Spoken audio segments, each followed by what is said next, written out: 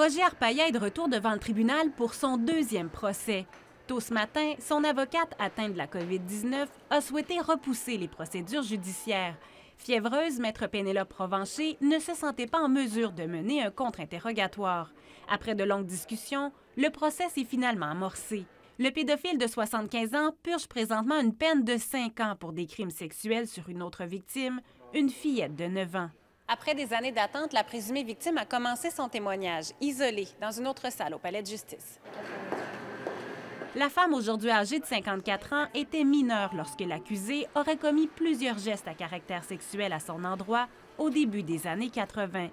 Elle aurait subi des attouchements dans la résidence de l'accusé et aurait été violée dans sa voiture. Je m'en veux de ne pas l'avoir dit avant. J'étais pétrifiée. J'ai pleuré après, lorsqu'il est parti, a-t-elle raconté. Un chien de soutien était d'ailleurs à ses côtés lors de son témoignage. La présumée victime dit avoir eu peur de dénoncer pendant des années, mais lorsqu'elle aurait su pour la petite victime de 9 ans, un sentiment de culpabilité l'aurait poussée à dénoncer son agresseur. En raison de l'état de santé de l'avocate de Roger Arpaillat, le procès reprend le 19 décembre avec le contre-interrogatoire de la présumée victime. La couronne a aussi deux autres témoins à faire entendre. Charelle Traversy, TVA Nouvelle, Trois-Rivières.